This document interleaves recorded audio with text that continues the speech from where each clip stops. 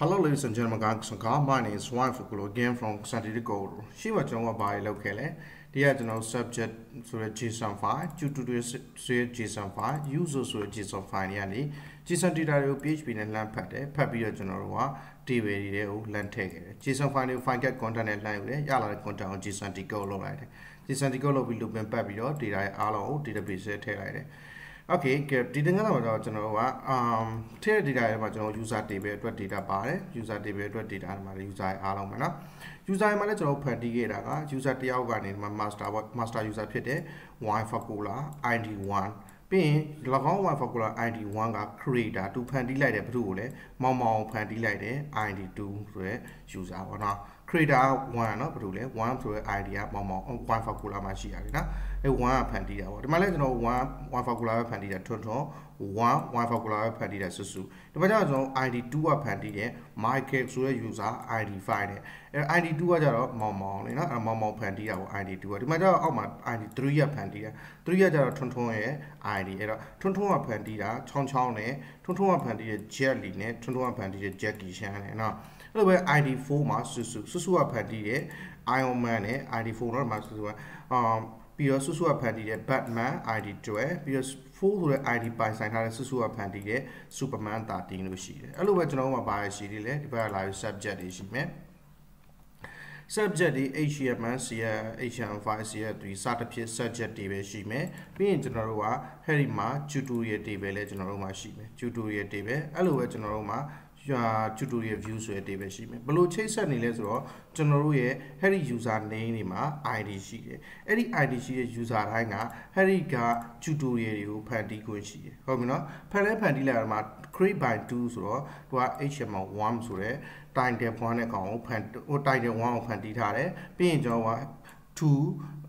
create by 2ဆိုတာကတော့ဒီ user ကိုပဲပြန်ပြောရလိမ့်နော်ဒီ user ID ကိုလှမ်းညွှန်ထားတာဒီမှာ user ID ကကျွန်တော်တို့က local key ဆိုရင်ဒီဘက်ကကျွန်တော်တို့က Harry create by ကြတော့ foreign key ပေါ့အဲ့တော့ foreign key ရှိတဲ့2ဆိုပြီးတော့အဲ့ဒီ user table ကဒီ ID နဲ့ user ID နဲ့ Harry ဘက်က tutorial table က create by ID နဲ့လာချိတ်တယ် create by free နဲ့လာချိတ်တယ်ပေါ့နော်ချိတ်ပြီးတော့ user ID 2ကဖန်တီးခဲ့တဲ့သင်ခန်းစာတွေ user ID 3ကဖန်တီးခဲ့တဲ့သင်ခန်းစာတွေအဲ့လိုပဲ user ID 4 5 6 7 8ဆိုစသဖြင့်ဖန်တီးခဲ့တဲ့သင်ခန်းစာတွေအားလုံးမိတ်ဆွေတို့တွေ့ရလိမ့်မယ် user ID 10အဲ့တော့ဒီမှာရှိတဲ့ user တယောက်ချင်းစီရဆရာတွေပေါ့သူတို့တွေဖန်တီးခဲ့တဲ့သင်ခန်းစာတွေဒီဘက်မှာရှိနေတယ်ဟုတ်ပြီနော်အဲ့လိုပဲကျွန်တော်တို့က head ဒီ tutorial table နဲ့ဒီ subject table ကိုကြည့်မယ်ဆိုရင် subject table ကနေကျင် subject table ရဲ့ ID က local key ဖြစ်ပြီးတော့ foreign key ကကျွန်တော်တို့ကအဲ့ဒီ tutorial table က subject ID ဖြစ်တယ်ဟုတ်မလား subject ID 1 2 3 4 5စသဖြင့်တွေ့လိမ့်မယ်မိတ်ဆွေတို့ subject ID 2ရယ်နော်အဲ့ဒါ subject ID တွေအများကြီးကိုဖန်တီးထားမယ်အဲ့ဒါကလည်းချိတ်ဆက်နေတယ်ဘယ်လိုချိတ်ဆက်လဲ subject ရဲ့ table က ID က အဲ့ဒီ tutorial ဒီဘက်က subject ID နဲ့လာချိတ်ဆက်ထားတယ်ဟုတ်ပြီနော်ပြီးရင်ကျွန်တော်တို့ပါရှိလဲဆိုတော့ tutorial view tutorial view ကကြတော့ hori tutorial တွေပဲနဲ့လှမ်းချိတ်ထားတယ် tutorial ID 1ကိုကြည့်တဲ့လူအရေးအတွက်ဘယ်နှယောက်လဲဆိုတော့ကျွန်တော်တို့ဒီမှာတစ်ချက်ပြထားတယ်အဲ့လိုပဲ tutorial ID 2ကိုကြည့်တဲ့လူအရေး အတွက်ဘယ်နှယောက်လဲဆိုတာဟဲ့ second row မှာပြထားတယ်အဲ့ဒီတိုင်းမှာပဲ tutorial ID 3ကိုကြည့်ရလူအရေးအတွက်ဘယ်နှယောက်လဲဆိုတာကိုပြထားတယ်ကြည့်ရလူအရေးအတွက်မှာကျွန်တော်အမျိုးအစားနှစ်မျိုးနဲ့ထည့်သွင်းခဲ့တယ် static view နဲ့ unique view ဆိုပြီးတော့အခုကျွန်တော်တို့ကတွားချိတ်တော့မယ်ဘယ်လိုချိတ်တော့မလဲဆိုတော့ user ID 1ရှိတဲ့ Wi-Fi ကိုလာဖန်တီးခဲ့တော့ user များကိုကျွန်တော်နံပါတ်1ယူမယ်ဟုတ်ပြီနော်အဲ့တော့ user ID 1ရှိတဲ့ Wi-Fi ကိုလာဖန်တီးခဲ့တဲ့ user များဆိုတော့ဒီ user ရဲ့ Harry user ရဲ့ Harry user ဆိုပြီး3ယောက်ရလာမယ်ပြီးရင်၎င်း user ID 1ရှိတဲ့ Wi-Fi ကိုလာဖန်တီးခဲ့တော့ user များကဖန်တီးခဲ့တော့ Harry tutorial အားလုံးကိုယူမယ်အဲ့ဒါဆိုရင် ID2 ဖန်တီးခဲ့တဲ့ tutorial တွေအားလုံးဒီမှာ create မှာ ID2 ရှိတဲ့ tutorial တွေအားလုံးအဲ့လိုပဲ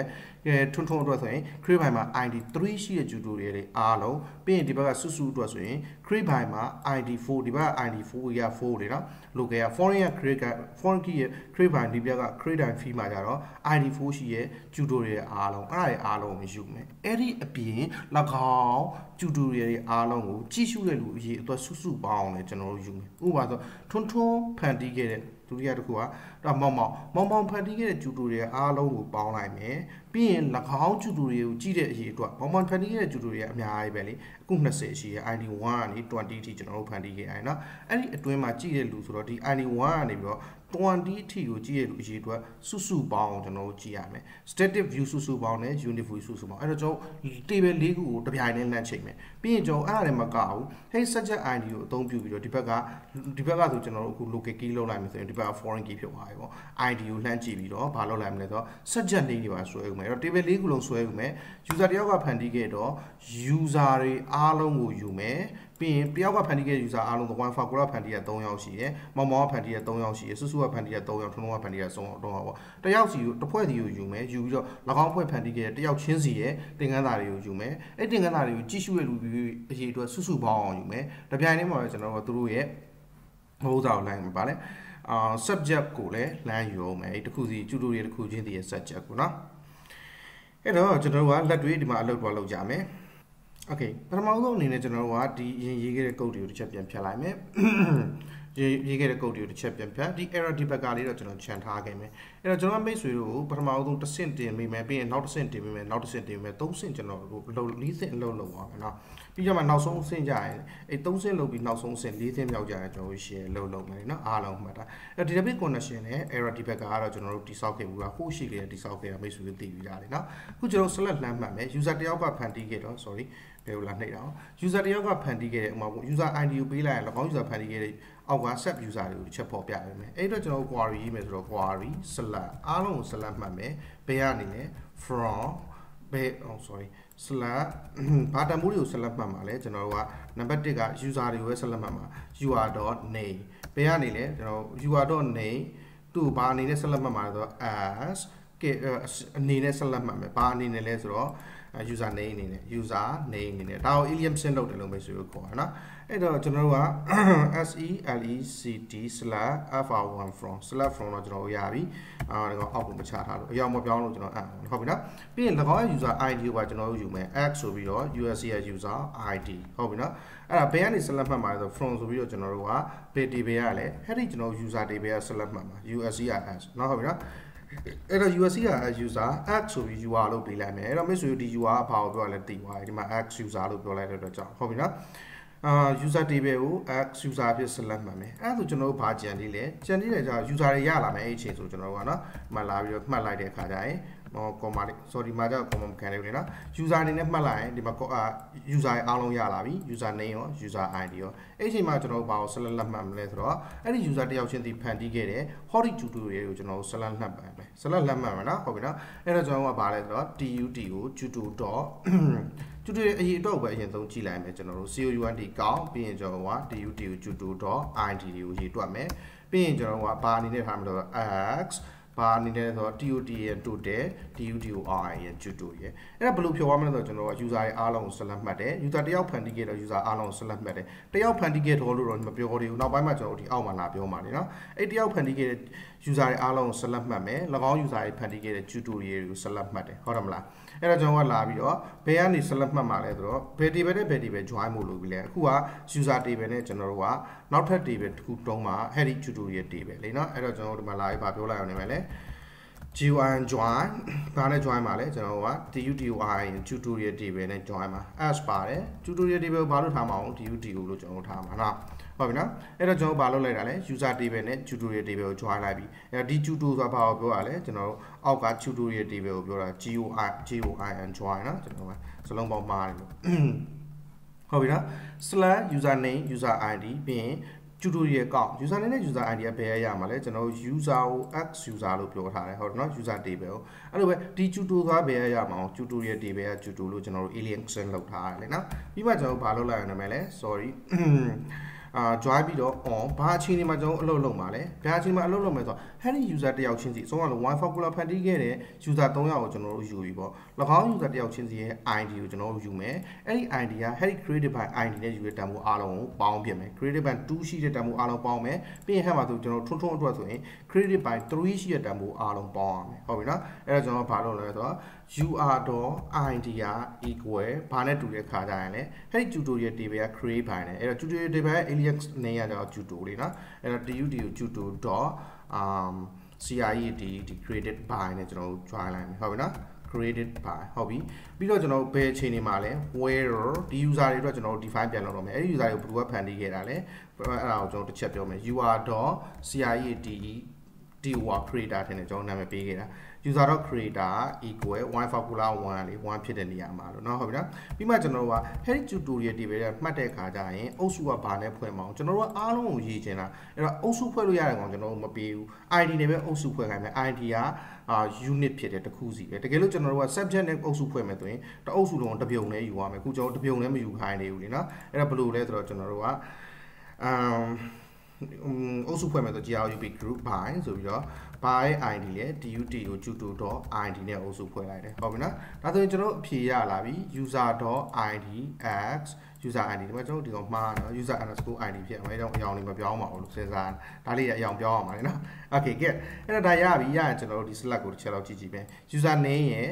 user id ရဲ့ select မှတ်တယ်ဘယ် table ရလဲ user table ရနေပြီးတော့ count တွေအားလုံးကို select မှတ်တယ် tutorial table ရနေပြီးရင်ဒီ user name နဲ့ count နဲ့ count ဖြစ်တဲ့ tutorial table ကို join တယ်ဗာနဲ့ join လဲဒီမှာကျွန်တော်ဟိုဘယ်အခြေအနေမှာ join လဲဆို condition က user id နဲ့ tutorial created by id နဲ့တူမှာ ပြီးတော့အဲ့ဒီ user တန်ဖိုးတွေကိုဘယ်ကယူမှာလဲဆိုတော့ where creator 1ဖြစ်တဲ့နေရာယူမှာပြီးရင် group အုပ်စုဖွဲ့မှာဗာနဲ့အုပ်စုဖွဲ့မှာလဲဆိုတော့ tutorial နဲ့အုပ်စုဖွဲ့မှာအဲ့ချိန်ကျရင်ကျွန်တော်ဘာလုပ်လို့ရပြီလဲ result ကို mysql li query ဒါကတော့ကျွန်တော် basic query တွေကိုသင်တဲ့အတွက်ကြောင့်ကျွန်တော်က intermediate သင်ခန်းစာကျမှအဲ့ဒီ intermediate သင်ခန်းစာကျမှမိတ်ဆွေတို့ကျွန်တော်က PDO PHP data object နဲ့အာ mysql li ကိုမှာ procedure မဟုတ် style မဟုတ်ဘဲနဲ့ OP style နဲ့လုပ်တာကိုသင်ပြပါတယ်เนาะဒီသင်ခန်းစာတွေတော့မိတ်ဆွေတို့ဝယ်ရမှာဒါ4000 ဒီ advanced သင်ခန်းစာ8000မွေးခြင်းလည်းမွေးရဲကျွန်တော်တို့ take you မဆိုင်ဘူးဟောသင်ခန်းစာရဲ့ဖြစ်ဖြစ်ဟောတင်ယူတစ်ခုတကယ်ကောင်းခဲ့ပြီဆိုရင်အားလုံးကတန်တယ်အခုဒါတွေလည်းမိတ်ဆွေတို့ကျွန်တော်တေချာတော့ရှင်းပြတယ်ဒါပေမဲ့အသေးစိတ်တစ်ခုချင်းစီရှင်းပြရမိတ်ဆွေတို့တွေ့ကျင်တယ်ဆိုရင်ကျွန်တော်ရဲ့ SQL database administrator course မှာတောင်းဝယ်ပြီးလေ့လာနော် okay ကဲအဲ့ဒါ database connection ဒါ PHP သင်ခန်းစာအတွက်ဆိုကျွန်တော်ရှေ့ပိုင်းမှာတင်ခဲ့ရတဲ့လုံလောက်ပြီးဒါတွေမပြရမလို့လေနော် okay ပြီးရင်ကျွန်တော် DB connect လုပ်တယ်ဘေးတန်ဘူးကို big query ကို execute လုပ်မှလည်းဆိုကျွန်တော်အပေါ်မှာတိစောက်ခဲ့တယ် Harry query ကို execute လုပ်မယ်ပြီးရင်ကျွန်တော်ဖြေရလာတာကိုချက်ချောက်ကြည့်ကြည့်မယ် error debugger မှာ result ကိုလှမ်းပေးပြီးဖြေထုတ်ခြင်းအားလုံးစုစုပေါင်းရလာတဲ့ဖြေကိုကျွန်တော်တို့ပေးလိမ့်မယ်အဲ့တော့ပြီးရင်တော့တစ်ချက်လုပ်ခြင်းစုစုပေါင်းရလာတဲ့ဖြေ120 3ယောက်ရှိတယ်3ယောက်ကိုတင်ကန်းစာပေါင်း120 row ပေါင်း120တွေ့တယ်ဟုတ်ပြီနော်အဲ့ဒါဆိုကျွန်တော်အဖြေကိုတစ်ခုချင်းစီထုတ်ကြည့်အောင်ပေ3ယောက်လဲဆိုတာတရအောင် for each နဲ့ result x ဆိုပြီးတော့အဲ့လောလောဆယ်ကျွန်တော် values လို့ပဲပေးထားမယ် as မထည့် as ထည့်လဲခေါင်းပါတယ်ဒါပေမဲ့ကျွန်တော်တို့ကအဲ့ဒါနာ မလို့ဘူးပေါ့နော်ပြီးမှအဲ့တစ်ခုချင်းစီကို error debugger နဲ့ရလာတဲ့ loop ပတ်လို့ရလာတဲ့တန်ဖိုးတစ်ခုချင်းစီကို error debugger နဲ့အဖြေထုတ်လိုက်မယ်ကျွန်တော် format ချလာတာ error debugger ကြီးလိုက်ရင်တင်ကန်းစာတွေအများကြီးပဲအများကြီးဘာဖြစ်လို့ကျွန်တော်အများကြီးရလဲမောင်မောင်တယောက်တည်းအတွက်တင်ကန်းစာအများကြီးရတယ်ပြီးရင်ထွန်းထွန်းအတွက်တင်ကန်းစာတွေလာမယ်ပြီးရင်ကျွန်တော်ဗာလဲစုစုအတွက်တင်ကန်းစာလာမယ်ဘာဖြစ်လို့လဲဆိုတော့ကျွန်တော်တို့ကအားလုံးအုပ်စုဖွဲ့တဲ့အခါမှာ ID နဲ့အုပ်စုဖွဲ့ဖွဲ့လို့ ID က unit ဖြစ်နေတော့တစ်ခုချင်းစီလာတယ်အခုကျွန်တော်တို့က created by နဲ့အုပ်စုဖွဲ့ကြည့်အောင်အဲ့ဒါဆိုရင် tuto.crad created by ဆိုပြီးတော့အုပ်စုဖွဲ့လိုက်မယ်ဒါဆိုတော့မိတ်ဆွေတို့အုပ်စု3စုပဲတွေ့တော့မယ်နော်3စုပဲတွေ့တော့မယ်မောင်မောင် user ID က2ဖန်တီးခဲ့တဲ့ tutorial ပေါင်း40ရှိတယ်ထွန်းထွန်း user ID က3ဖန်တီးခဲ့တဲ့ tutorial ပေါင်း40ရှိတယ်စုစု user ID က4ဖန်တီးခဲ့တဲ့ tutorial ပေါင်း40ရှိတယ် okay အဲ့မှာကျွန်တော်တို့ဘာလုပ်လို့ရလဲဆိုတော့မိတ်ဆွေတို့ကအာညကျွန်တော်အချိန်ကြည့်လိုက်အောင်9မိနစ်ဆိုရရရပါတယ်နော်အဲ့တော့ဟူ 9မိနစ်ရှိရသင်္ကန်းရ Okay အဲ့တော့ဒီအဆင့်မှာကျွန်တော်ခဏရမယ်ခဏရမယ်ဆိုတော့နောက်တစ်ဆင့်ကျမှကျွန်တော်လည်းအဆင့်တစ်ဆင့်ထပ်မြင်မယ်ဘာလို့ခဏရမလဲဆိုတော့အခုဒီသင်္ကန်းသာရှေ့ရသင်္ကန်းသာနဲ့ join ရမှာ join တဲ့ခါတိုင်းရှည်ဝါမှာဆိုလို့เนาะအဲ့တော့ဒီမှာလာကြည့်လိုက်ရင်တော့တခုစီတယောက်ချင်းတည်းရဲ့သင်္ကန်းသာထွက်ပြီးဂိမ်းမိတ်ဆွေတို့က user ID 1က create ခဲ့တဲ့လူမဟုတ်ပါဘူး user ID 3က create ခဲ့တဲ့လူဆိုကြည့်ရင်ဒီမှာချောင်းချောင်းရဲ့ jelly ရဲ့ jackie chan ရဲ့ချောင်းချောင်းကသင်္ကန်းသာ40ဖန်တီးတဲ့ jelly က20အောင် jackie chan က20ပေါ့ဟုတ်ပြီနော်နောက်သင်္ကန်းသာမှာကျွန်တော်ဆက်မယ် ရှိမှကျွန်တော်တို့က tutorial ထဲမှာရှိတဲ့တန်ဖိုးတွေအားလုံးအဖြေထုတ်ခဲ့ပြီးသွားပြီအခုကျတော့ကျွန်တော်ကဘာလုပ်မလဲဆိုတော့ရလာတဲ့တန်ဖိုးတွေအားလုံးကိုမှအောင်ဒီလိုစစ်ကြည့်မယ်ကျွန်တော်ကတင်ကန်းသာ4 30အထက်ဆိုရင်သူ့ဆရာကြီးလို့ကျွန်တော်ပြောလိုက်မယ်တင်ကန်းသာ30အောက်ဆိုရင်ဆရာပူ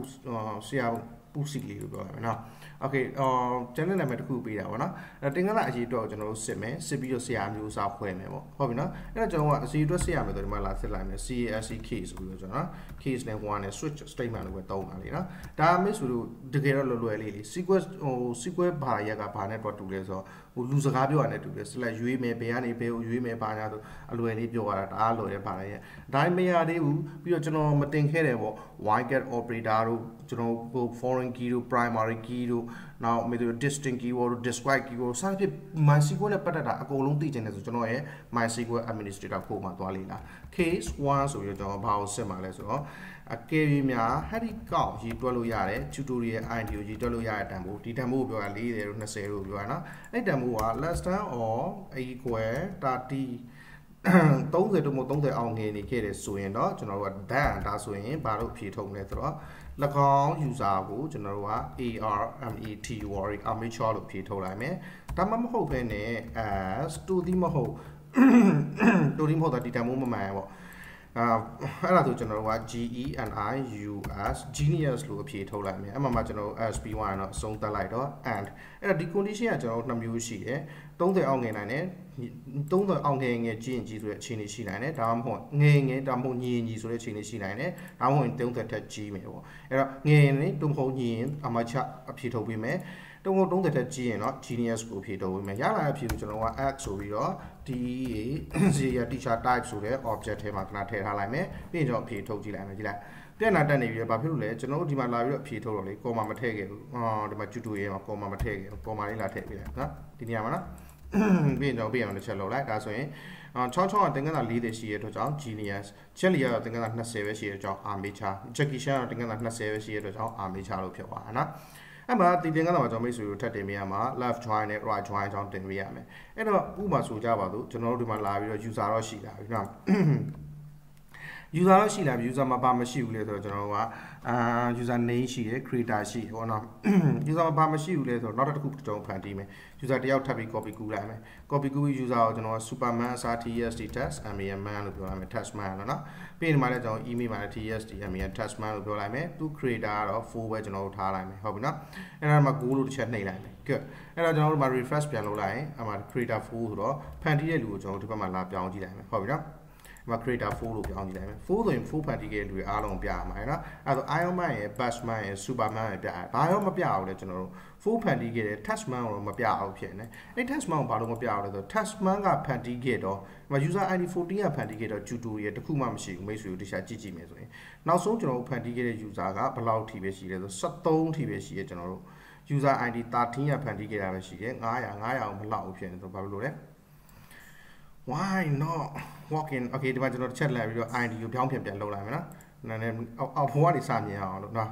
okay get အဲ့တော့ပြောင်းပြန်ပြန်လုပ်လိုက်ဘဝတွေစမြင်ရပြီအာ400ကလည်းစတာနော်400က subject ID 20ဖြစ်ပြီးတော့ creator by ID က8တယ်နော် creator ID ကျွန်တော်တို့73ရှိတဲ့ကောင်လိုက်ဆိုင်လိုက်လိုက်အများဆုံးက73အထိပဲရှိတယ် creator ID creator creator ID 14ရှိတဲ့ကောင်ဖန်တီးတာမရှိဘူးကျုံးစထည့်ကြတဲ့အတိုင်းထည့်ထားတယ်နော်အဲ့တော့ဘယ်ဘက် table မှာမရှိတဲ့တန်ဖိုးကိုအဲ့ဒီညာဘက် table ကနေဆွဲမထုတ်ပေးတဲ့အတွက်ကြောင့်ဒီမှာမပြဘူးဖြစ်နေဟုတ်နော်အဲ့ဒါကိုကျွန်တော်ကပြသေးခြင်းနဲ့ဆိုရင်အဲ့ဒီ join အစားကျွန်တော်က REF left join လို့လုပ်လိုက် left join ဆိုကျွန်တော်တို့ slam ပြီးဆက်လက်မှတ်တဲ့အဲ့ဒီဘယ်ဘက် table ကျွန်တော်တို့တည်ထားတဲ့ဒီ user table ရဲ့တန်ဖိုးမှာ tasman ပါတယ်ဒါပေမဲ့ tasman ဖန်တီးထားတဲ့ table ကကျွန်တော်တို့လှမ်း join တဲ့ tutorial မှာမရှိတော့လဲပဲအဲ့ဒီ left value မှာပါရင် right value ကိုဖြေပြပေးလိမ့်မယ် refresh လုပ်လိုက်ဒါဆိုရင်ကျွန်တော်ဆက်လေး tasman သင်္ကန်းစာတော့တခုမှမရှိဘူးတွေ့မလားတခုမှမရှိတော့ကျွန်တော် armature လို့ပြနေတယ်အဲ့ဒါကို left join လို့ခေါ်တာပဲဟုတ်နော်ကျွန်တော်မူတည်ထားတဲ့ table ကနေပြီးတော့တန်ဖိုး table မှာတော့တန်ဖိုးရှိတယ်ဒီမှာ tasman ရှိတယ်ဒါပေမဲ့အဲ့ဒီ clammy join တဲ့တန်ဖိုးမှာတော့ tasman ဖန်တီးထားတဲ့သင်္ကန်းစာလုံးဝမရှိဘူးမရှိတဲ့အတွက်ကြောင့်ဘယ်ဘက် table မှာရှိတယ်ညာဘက် table မှာမရှိဘူးဒါဆိုရင်ကျွန်တော်က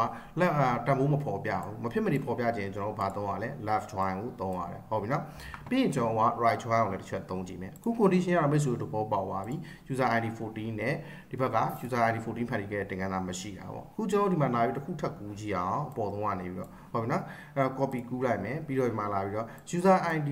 um 14ဆိုတော့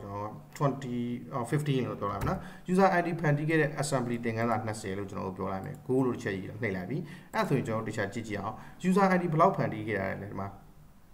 sorry user id created by user id 15လို့ပြောလိုက်မယ်နော်15ဒီ subject id ကမပြောင်းလဲကျွန်တော်20ပဲထားလိုက်ကျွန်တော်နေရာမှားပြီးပြောင်းလိုက်မယ်နော်အဲ့တော့ user id 15ဖန်တီးခဲ့တဲ့သင်ခန်းစာ assembly သင်ခန်းစာတယ်အဲ့တော့ user id 15ဆိုတာရှိလားကျွန်တော်တို့ဒီမှာကြည့်ကြည့်အများဆုံးက user id က14ထိပဲရှိတာအဲ့တော့အခြေအနေရကြည့်မယ်ဆိုကျွန်တော်တို့က left ဒီဘက်မှာတန်ဖိုးမရှိဘူးဟုတ်တယ်နော် left ဒီဘက်မှာတန်ဖိုးမရှိဘူး right ဒီဘက်မှာတန်ဖိုးရှိနေအဲ့ဒါဆိုကျွန်တော်တို့ကအဖြေကမဖော်ပြအောင်ဒီမှာ refresh လုပ်မဖော်ပြအောင်တန်ဖိုးကဖော်ပြသိခြင်းကျွန်တော် right join ကိုသုံးပြီးဖော်ပြလို့ရတယ်ဟုတ်ပြီနော် left ဒီဘက်မှာတန်ဖိုးမရှိဘူးဒီမှာ15မရှိဘူး user ID 15ဒါပေမဲ့ right ဒီဘက်မှာတော့15ရှိရ user ID အဲ့တော့ကျွန်တော်ဖော်ပြသိခြင်းနဲ့ဆိုရင် right ဒီဘက်ကဖော်တန်ဖိုးဖော်ပြသိခြင်းဖြစ်တဲ့ကြောင့် right join နဲ့တစ်ချက်ဖော်ပြလိုက်ဒါဆိုရင်တော့မိတ်ဆွေတို့တွေ့ရတဲ့အတိုင်းပဲအာဗာတင်ဖို့ဖော်ပြလဲကျွန်တော်တို့ အမ်ဘာမှမဖော်ပြဘူးဖြစ်နေနော် Iron Man ရဲ့ Batman ရဲ့ Superman ရဲ့အဲ့တော့ဘာအဲ့ဒါဘာဖြစ်လို့မဖော်ပြလဲဆိုတော့ user ID 4ကဖန်တီးခဲ့တဲ့ကောင်ဖြစ်ရမယ်ဟုတ်ပြီ4ကဖန်တီးခဲ့တဲ့ကောင်ပြီးရင်ကျွန်တော်တို့က right join ကိုပေါ်ထားတယ်တန်ဖိုးမရှိလေကျွန်တော်တို့ကထုတ်ခိုင်းမယ်ဆိုတော့ right join မှာချင်း created by 50ညာဘက်မှာတန်ဖိုးရှိရယ်ဘယ်ဘက်မှာတန်ဖိုးမရှိတာเนาะအဲ့တော့ဘယ်ဘက်မှာတန်ဖိုးမရှိရဆိုတော့ right join အာ tutorial as tutorial ပြီးရင် on user id tutorial created by အဲ့တော့ right side မှာကျွန်တော်ရှိမယ်ဆိုဒီမှာအဖြေကထွက်အောင်မှာကျွန်တော်အဖြေမထွက်ဘူးဖြစ်နေတယ်အဲ့တော့ဘာကြောင့်အဖြေမထွက်လဲဆိုတော့14 Okay ဘာကြောင့်တမိုးမရှိလဲဆိုတော့ကျွန်တော်တို့ဒီလိုတစ်ချက်လုပ်ကြည့်လိုက်မယ်ဘာလဲဆိုတော့ဒီ where id ရဲ့ကျွန်တော် group by ပေါ်ပေါ်ထားတာเนาะ အဲ့တော့ကျွန်တော်ဒီ web တန်ဖိုးခဏဖြတ်လိုက်မယ်နော် web တန်ဖိုးခဏဖြတ်ပြီးမှ refresh လုပ်ရမယ် refresh လုပ်ရင်ကျတော့မိတ်ဆွေကိုဘာရမလဲဆိုတော့ဟဲ့မှာအောက်ဆုံးကတန်ဖိုးလေးနော်ဒီ web ကိုမဖြတ်တည်ဘဲနဲ့ refresh လုပ်တဲ့တန်ဖိုးကဒီတန်ဖိုးပဲရှိရမလား၃ခုပဲအဲ့တော့ web ကိုကျွန်တော်ဖြတ်ပြီးတစ်ချက်လောက်ကြည့်ကြည့်လိုက်မယ်ဒီ web ကိုတစ်ချက်ဖြတ်ဖြတ်ပြီးတော့ကျွန်တော်တို့မှာအာ control S ဆေးပြီးတော့တစ်ချက်လာကြည့်ကြည့်လိုက်ဒါဆိုရင်ကျွန်တော်ကညာဘက်ဒီမှာတန်ဖိုးမရှိဘူးတွေ့မလားအောက်ဆုံးတစ်ခုကိုကြည့်လိုက်ဒါ tutorial ID က1အာမီချာ user name ကလည်းမရှိဘူး ID ကလည်းမရှိဘူးဒါပေမဲ့ညာဘက်တန်ဖိုးမှာတန်ဖိုးဟို မဟုတ်တာတော့ရှိနေပါလေ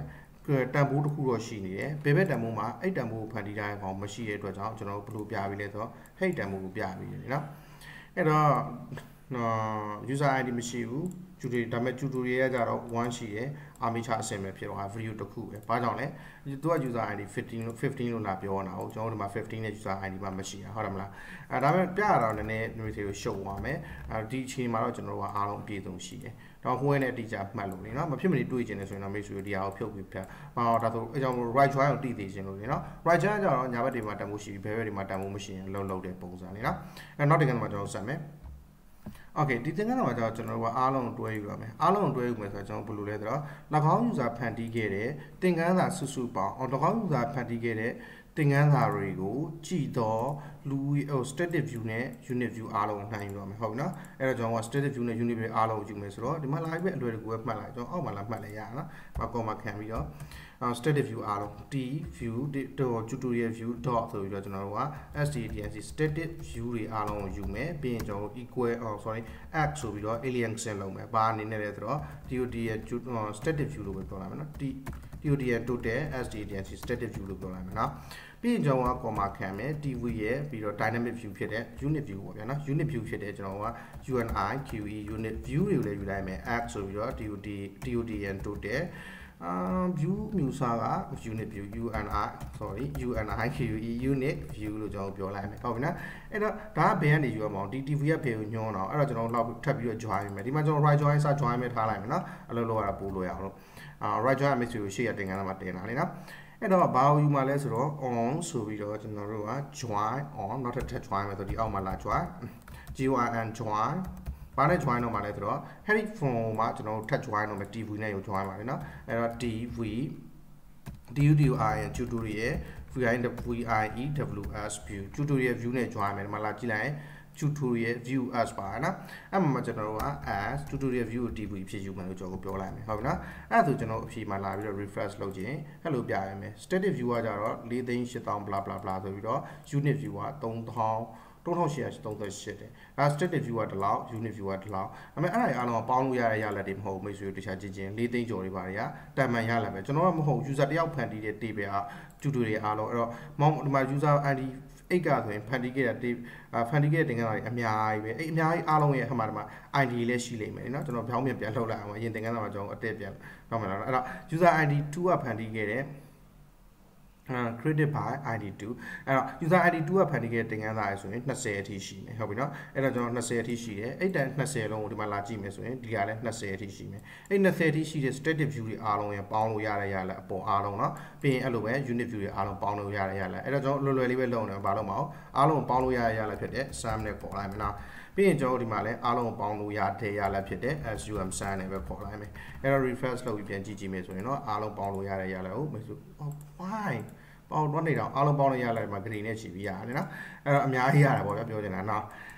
အဲ့ဒါစုစုပေါင်းရတဲ့ရက်လောက်ကျွန်တော်တစ်ချက်ယူတာတခါလေကြာရင်မိတ်ဆွေကဘာပါရချင်လဲဆိုတော့ဒီက ID ကိုပါကျွန်တော်တို့ရချင်တယ် subject ID ကိုပါကျွန်တော်တို့ဘာကိုသိနေရပြီလဲ hey tutorial view မှာရှိတယ် tutorial မှာရှိတဲ့ ID ကို subject ID ကိုသိနေရပြီအဲ subject ID ကိုသိရင်၎င်း subject ID ကိုသုံးပြီးတော့ hey subject တွေပဲက name ကိုလှမ်းယူချင်တယ်ဒါလည်းလွယ်လွယ်လေးပေါ့ကျွန်တော်ကအဲထပ်ပြီး join အောင်နေမှာပေါ့နော်အဲ့တော့ဒီမှာလာပြီးတော့ subg sub subject dot ဆိုပြီးတော့ကျွန်တော်က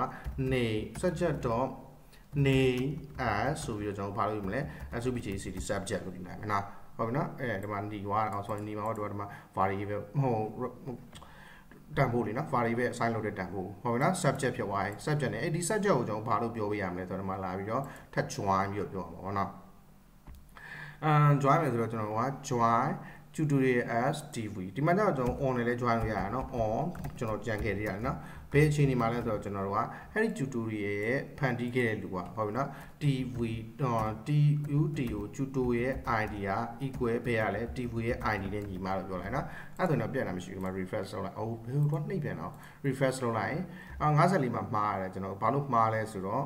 join tutorial ရဲ့ tv နဲ့ join နဲ့ on tut tutorial ID က tv ရဲ့ tv ရဲ့ဘာဖြစ်ရမလဲကျွန်တော် tutorial view ရဲ့ ID နဲ့ညီရမယ်နော် okay that should be all right ဘာလို့မှားလဲဆိုတော့ဒီမှာ tutorial တစ်ချက်ကြည့်ဒီမှာလည်းကျွန်တော်က50ခွန်မှာမှားရတော့ဒီအောက်ဆုံးလာပြအဖြစ်မထွက်ဘူးဖြစ်နေတယ်နော်အဲဒီကောင်ကိုကျွန်တော်ခဏလေး off ထားမယ်ပြီးကြမှာကျွန်တော် HP ကိုရှာမယ်နော်အခုဒီကအရင်ဆုံးကျွန်တော် subject ကိုအရင်ရှာလိုက်မယ် subject name at subject ဆိုပြီးနော်အဲတို့လည်းကျွန်တော် GUIN join GUIN join ဆိုပြီးဘာနဲ့ join မလဲဆိုတော့ SUB um GECT ရဲ့ subject တွေပဲကို app ဆိုပြီးတော့ဘာအနေနဲ့လဲဆိုတော့ SUB အနေနဲ့လို့ကျွန်တော်သုံးမယ်ပြီးမှကျွန်တော်တို့က on ဘယ်အချိန်နေမှာလဲဆိုတော့၎င်း tutorial ရဲ့ .subject subject id ကဟုတ်ပြီနော်ဒီ tutorial မှာရှိတဲ့ subject id ကဘာနဲ့ညီပါတယ်ဒီက id နဲ့ညီမှာအဲ့ဒါဆိုဒီ name ကိုဆွဲထုတ်ပေးမယ်လို့ပြောမှာနော်အဲ့တော့ equal ကျွန်တော်တို့ခုမှတ်တဲ့ subject. ဆိုပြီးတော့ id နဲ့ညီကျွန်တော်ဆွဲထုတ်မယ်လို့ပြောမယ်အဲ့ဒါဆိုဒီမှာ refresh လုပ်လိုက်ရင်ကျွန်တော်တို့ကအဖြေက subject id က practical ဖြစ်နေဒီက subject id က php ဖြစ်နေဒီက subject ကကြတော့ ags ဖြစ်နေနော်အားလုံးတော့ okay နေတယ်ကျွန်တော်တို့နောက်တစ်ခုထပ်လုပ်ရမယ်နောက်တစ်ခုကဘာလဲဆိုတော့ ဒီမှာကျွန်တော်တို့က ion map ဖန်တီးခဲ့တဲ့တင်ကန်းစာကဘယ်လောက်ရှိရလဲလဲကျွန်တော်တို့အာ total tutorial က8000လောက်ရှိရောအဲ့ဒါကျွန်တော်တို့ဒီမှာပြန်လာနေတဲ့တက်နော် total tutorial အဲ့တော့ total tutorial ကိုတစ်ချက်ကြည့်ရအောင်ဘာလို့8000ဖြစ်နေလဲလို့အဲ့တော့ count tutorial tutorial ဆိုပြီးတော့ဒီမှာကျွန်တော်တို့က created by 4ပြီးရင်8000 8000 8000သုံးခုအောင်ဖြစ်နေနော် ID ကိုကျွန်တော်တို့က3လို့ပြောင်းကြည့်အောင်ဟို Jackie Chan လို့ပါတော့လေနော် 16000 16000အဲ့တော့ကျွန်တော်တခုမှားနေပြီအဲ့တော့ဒီမှာလာပြီး sam tv.view နဲ့ဒီဘက်ကကျွန်တော်တို့က sam unit view နဲ့ကိုပေါင်းတယ်ပေါင်းတော့ကျွန်တော်တို့ဘာရရလဲဆိုတော့ static view နဲ့ dynamic view ကိုရတယ်အဲ့ဒါပြတ်တာမရှိဘူးကျွန်တော်တို့ကကျွန်တော်တို့ပြတ်တာရှိတာ tutorial မှာအာအဲ့လောက်ပမာဏများတဲ့အကြောင်းမရှိဘူးကျွန်တော်80လား40လားပြရမှာနော်အဲ့တော့ရတယ်ပြန်တာမရှိဘူးကျွန်တော်က join မှာဒီတစ်ခုကြံနေလို့ကျွန်တော်ဒီမှာလာ join မယ်လို့ပြောထားတယ်နော် on ဆိုပြီးတော့ကျွန်တော်တို့ဘာမှ join မှာလဲ tutorial ရဲ့ view က TV ဖြစ်ရမယ်ဟုတ်တယ်မလားပြီးတော့အဲ့တော့ TV ကိုကျွန်တော်တို့ဖယ်ရရမှာလဲတစ်ချက်လမ်းပြောပြရမယ်အဲ့တော့ TV. ဆိုပြီးတော့ကျွန်တော် TV ကနေဘာဖြစ်တဲ့ကောင်လဲ TV ရဲ့ ID ကဟုတ်ပြီနော် tutorial view ရဲ့ ID က sorry tutorial view ရဲ့ ID ကဟဲ့ဒီကကျွန်တော်တို့ကဒီ tutorial ရဲ့ ID နဲ့ညီရမယ်အဲ့တော့ tu tu tutor.id equal tutorial view ရဲ့ ID နဲ့ညီရမယ်လို့ကျွန်တော်တစ်ချက်ပြောလိုက်မယ်။ save ပြီးတော့မှပေးရမယ်တစ်ချက်လာလုပ်ကြည့်။အဲ့ဒါဆိုတော့ကျွန်တော်ပြန်တာမရှိတော့ဒီမှာ8ခုပဲဒီမှာ9ခုပဲဒီမှာ10ခုပဲရှိရကျွန်တော် oh sorry 20ခု20ခု40ခုပဲရှိရနော်။ဒါလေးကျွန်တော်ကြံလာတယ် software ကအဲ့တစ်ချက်တော့တစ်ချက်မှတ်ပေါ့ကျွန်တော်က join နဲ့ on နဲ့ join နဲ့ on နဲ့ဒီမှာ join နဲ့ on နဲ့တူအစုတူတွဲပြီးမှလေနော်။ဆိုတော့မတွဲပြီးတော့ကျွန်တော်ပြန်တာတက်သွား။ အဲ့တော့ဒီကနောက်တစ်ပြန်တာတစ်ခုကချောင်းချောင်းဖန်တီးတာတင်ကန်းသား40ဆိုကျွန်တော်ကတင်ကန်းသားတစ်ခုကို20စီပဲဖန်တီးခိုင်းရတယ်အဲ့တော့ booster တစ်ခုလည်းမဟုတ်နောက်တစ်ခုပါရှိရမယ်အဲ့တော့ချောင်းချောင်းဖြစ်တဲ့ ID 8ဖန်တီးခဲ့တဲ့ tutorial အားလုံးပေါ်ကြည့်ကြည့်အောင်ကျွန်တော်တို့ကအဲ့တော့ချောင်းချောင်းဖြစ်တဲ့ tutorial ဖန်တီးခဲ့တဲ့တင်ကန်းသားကျွန်တော် ID ဖန်တီးခဲ့တဲ့တင်ကန်းသား8ဆိုတော့နော် ID 8နဲ့ဖန်တီးခဲ့တဲ့တင်ကန်းသားကြည့်လိုက်ရင်ဘယ်နှပိုင်းတွေ့ရမလဲဆိုတော့ဒီမှာ8နဲ့တစ်ပိုင်းတွေ့ရတယ်မလား booster တွေအားလုံးတွေ့ရမယ်ပြီးရင်ကျွန်တော်တို့2ဖန်တီးခဲ့တဲ့တင်ကန်းနောက်ထပ်8နဲ့နောက်တစ်ခုလိုက်ရှာမယ်သင် creative by မှာ8ဖြစ်တဲ့ကောင်နောက်တစ်ခုဆိုတော့ဒီတန်ဖိုးတွေ assembly 9နေနော်အဲ့တော့အဲ့တန်ဖိုးတွေအားလုံးကျွန်တော်ကယူပေးရမှာလေဟုတ်တယ်မလားအခု assembly နဲ့ချောင်းချောင်းကဘာကိုဖန်တီးခဲ့အောင် bootstrap ကိုဖန်တီးခဲ့တယ်ကျွန်တော်နှစ်ခုလုံးပြပေးရမယ်ကျွန်တော်နှစ်ခုလုံးမပြပေးခဲ့ဘူးအဲ့ဒါလေးကိုကျွန်တော်သွားပြင်မယ်နော်အဲ့တော့ပြင်လို့မလွယ်ဘူးပြင်လို့မလွယ်ဆိုတော့ကျွန်တော်အားလုံးကို join ဖြစ်လိုက်လို့နော်ပြင်လို့လွယ်အောင်ဆိုဘယ်လိုလုပ်လို့ရလဲဆိုတော့ကျွန်တော်တို့က where creator 3စာ credit by နဲ့မ join မနဲ့ tutorial ရော credit by နဲ့မ join မနဲ့ အာ SUB subject ရဲ့ကျွန်တော်တို့ကအာ subject ID နဲ့ပြရမယ် subject ID ကိုကျွန်တော်တို့ unit ဖြစ်အောင်လေနော် refresh လုပ်ကြည့်လိုက်။ကျွန်တော် booster တစ်ခုပေါ်လာမယ်ဒီက assembly တစ်ခုပေါ်လာမယ်ချောင်းချောင်းอ่ะနော်ဒီမှာကျတော့ကျွန်တော် jade template engine ဒီမှာကျတော့ sac sac ဆိုတော့ SES ဆိုတော့ SES ဆက်ပေါ့နော်နှစ်မျိုးလုံးအတူတူပဲနော်အာနာမည်တော့ခေါ်ပေါ်ကိုယ်သွားတာပေါ့ဟုတ်ပြီးတော့ typing typing မျိုးစားမှာကိုယ်ရယ်နော် index နဲ့ဖန်တာနဲ့ index နဲ့မဖန်တာကိုယ်ရယ်ထားလိုက်ပါအဲ့တော့ဒီမှာကျွန်တော် booster ရှိတယ်ချောင်းချောင်းဖန်တီးတာနှစ်မျိုးရှိတယ်ဒီက channel လူတွေက Jackie Chan နဲ့ Jelly ကတစ်မျိုးစီပဲနော် အဲ့တော့ဒါကတော့ကျွန်တော်တို့က basic SQL အာနဲ့အလုပ်လုပ်တဲ့ new တစ်ချက်တင်ပေးတာနည်းနည်းလေးရှင်းချင်မှရှင်းလိုက်မယ်ကျွန်တော်တို့ထပ်ရှင်းပြဖို့မခက်ခဲဘူးကျွန်တော်တို့ရှင်းပြလို့ရတယ်ဒါပေမဲ့ကျွန်တော် SQL ဘာတွေရတဲ့ administrator course မှာတင်ပြပြီးဖြစ်တဲ့ကြောင့်ကျွန်တော်တို့ကဒီမှာလာမတင်ပြတော့ဘူးအဲ့တော့ကျွန်တော်ရဲ့ SQL ဘာတွေကိုတည်တံ့ဝယ်ပြီးလေ့တာပြီးရင်ကျွန်တော်တို့ကဒါဘာလို့လွယ်ကျွန်တော်တို့ပြောလဲဆိုတော့တကယ်လက်တွေ့လုပ်ငန်းစဉ်မှာကျွန်တော်တို့စီကနေပြီးတော့ဟို cracky shine ရေးထားလေဒါကျွန်တော်ရေးရတော့ game တစ်ခု game game တစ်ခုတော့ကျွန်တော် backup server ရေးတာလေနော် အဲ့မှာကျွန်တော် calculation ဘိုင်းမှာဒီ Laravel ကိုသုံးပြီးရေးလိုက်တာပြဿနာနည်းနည်းတက်သွား Laravel ကကျတော့ကျွန်တော် polymorphic relation တို့ allocation relation တို့က data အများကြီးစားတယ်ဟောချိန်ကြာသွားတယ်အဲ့တော့ကျွန်တော်ကိုယ့်ဘက်ကိုပြန်ရေးရအဲ့ Laravel ရဲ့ SQL ကိုအဲ့ဒါအဲ့ရေးတဲ့ခါမှာကျွန်တော်တို့ခက်ခဲတော်တော်ရှိနေအဲ့ဒါကျွန်တော်စီက Cracky Shine developer တို့က game ရေးတာကျွန်တော်ကကျတော့ backend server ရေးတာလေနှစ်ယောက်เนาะအဲ့တော့သူရေးပြတာသူရေးပေးလိုက်တာကျွန်တော်အဖြေလေးเนาะဒီက database query ဖန်တဲ့ result တွေအားလုံး ဒါကြည့်လိုက်ဒီအချိန်လေးနဲ့ကြည့်ရင်ကျွန်တော်ရေးခဲ့တာကလေးကစားတွေအားပဲရှိသေးတယ်နော်အဲ့တော့အာမင်းတို့ပို့ပြီးခက်ခက်နေနေခက်ခက်လက်နဲ့နည်းနည်းလောက်တတ်ချင်တော့ကျွန်တော်ရဲ့ SQL သင်ခန်းစာကိုသွားပြီးဝယ်ပြီးလေ့လာကျေးဇူးများတင်ပါတယ် wifi ကိုလာပါ send ကိုတော့